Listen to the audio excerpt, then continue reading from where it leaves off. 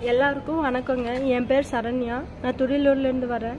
நான் வந்து ஒரு ஆன்லைன் வாட்ஸ்அப்பில் வந்து ஒரு மெசேஜ் வந்தது. அதை நான் கிளிக் பண்ணேன். அதில் வந்து லோன் ஆப்ஷன் இருந்தது. நான் வேண்டான்னு வெளியே வந்துட்டேன்.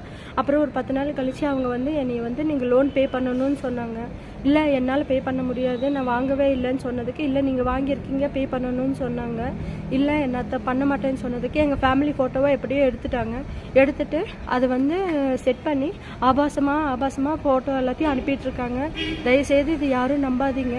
எங்களோட ஃபேமிலியை நீங்கள் தான் காப்பாற்றணும் உங்கள் நம்பருக்கெல்லாம் இந்த மாதிரி மெசேஜ் ஏதாவது வந்தால் டெலீட் பண்ணிவிடுங்க நீங்கள் வந்து பிளாக் பண்ணி வச்சுருங்க அந்த நம்பரை யாரும் தயவுசெய்து ஆன்லைனில் நீங்கள் லோன் வாங்காதீங்க.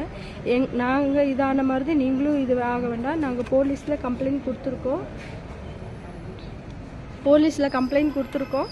கண்டிப்பாக அவங்க ஆக்ஷன் எடுக்கிறேன்னு சொல்லியிருக்காங்க. அவங்க இன்றைக்கி இங்கே வந்ததுக்கப்புறம் தான் தெரியும். என்ன மாதிரி நிறைய பேர் ஏமாந்துருக்காங்கன்னு.